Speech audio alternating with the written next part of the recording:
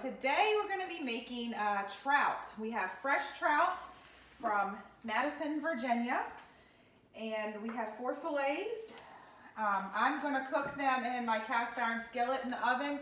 You can use a cast iron is what I recommend. You can also use any kind of baking sheet or baking tray uh, or Pyrex dish and just cover that with foil. So I'm gonna take my first trout and we are going to put, um, they are butterflied, so there's an opening. So we are going to be putting um, salt, pepper inside, salt and pepper, onion powder, a little bit of dill. If you have fresh dill, that's certainly better. Um, parsley, we have fresh today, so we're gonna use that. And lemon juice because I don't have a fresh lemon. And I'm gonna repeat that for all four pieces of trout.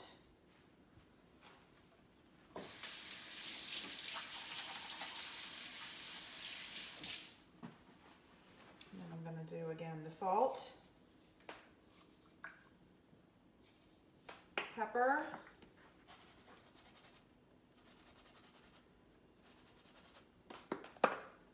dill, onion. You could also use fresh onion instead of onion powder. My lemon juice and parsley. I have a lot of parsley. You really don't need to use this much can just use what you have, um, or certainly dried parsley as well. And the last step will be adding either olive oil or butter. I have quite a bit of butter, so I'm going to use that.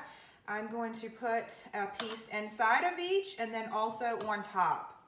I'm just kind of getting them ready so I won't have to be touching um, the knife Again, once I get my hands on the fish. And on top.